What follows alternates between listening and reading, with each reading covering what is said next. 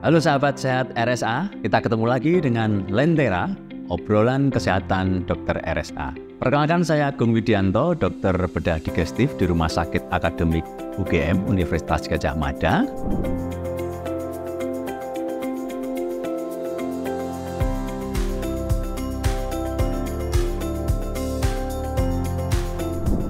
Berikut beberapa pertanyaan yang sering diajukan oleh pasien mengenai penyakit Crohn atau disebut dengan nama Crohn disease.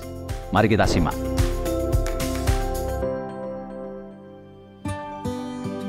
Crohn disease adalah atau disebut penyakit Crohn ya, infeksi radang kronis saluran cerna yang banyak diderita oleh orang-orang Asia tiga dari individu bisa diderita oleh orang dewasa maupun anak-anak. Laki perempuan juga sama. Kalau pada orang dewasa, kemudian dia akan bisa memberikan gejalanya tergantung dari lokasi penyakitnya. Kalau dari mulut dia bisa seperti orang sariawan, dan dari usus belah kanan, usus halus, dia bisa menderita orang seperti sakit usus buntu. Kemudian kalau dia di usus besar, di rektum, ya bisa orang seperti yang menderita fistula perianal. Atau pada anak-anak, kalau gangguan usus pada anak-anak akan mengganggu saluran cernanya sehingga mengganggu pencernaan, penyerapan, anak-anak bisa mengalami stunting.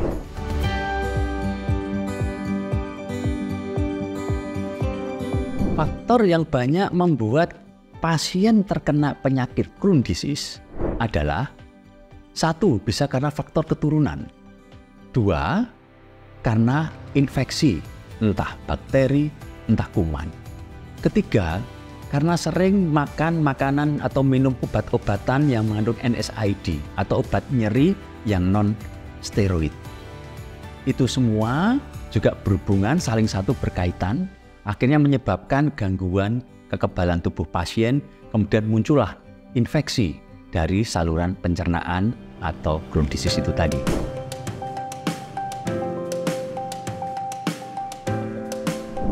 Tanda-tanda atau gejala-gejala pasien yang mengalami Crohn disease.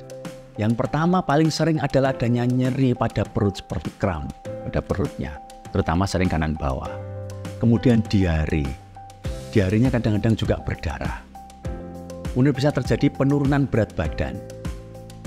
Itu adalah pada saluran cerna. Bahkan dia sering bisa keluar dari saluran cerna, sering menyebabkan sariawan, kemudian sering menyebabkan infeksi pada kaki, dan yang paling sering lagi ada pada yang utama adalah sering menyebabkan perdarahan pada dubur yang kesannya seperti ada robekan nyeri di dubur dan ada infeksi semacam inflamasi atau abses.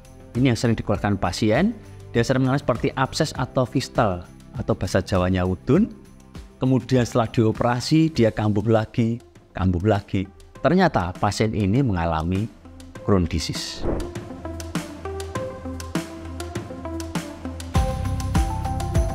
Untuk mencegah Crohn disease, ada beberapa hal yang bisa kita lakukan dan sebenarnya tidak sulit. Yang pertama adalah banyak minum air putih. Kemudian berolahraga, kurangi makanan-makanan berlemak, tambahi makanan-makanan yang banyak mengandung serat, dan kurangi stres atau depresi.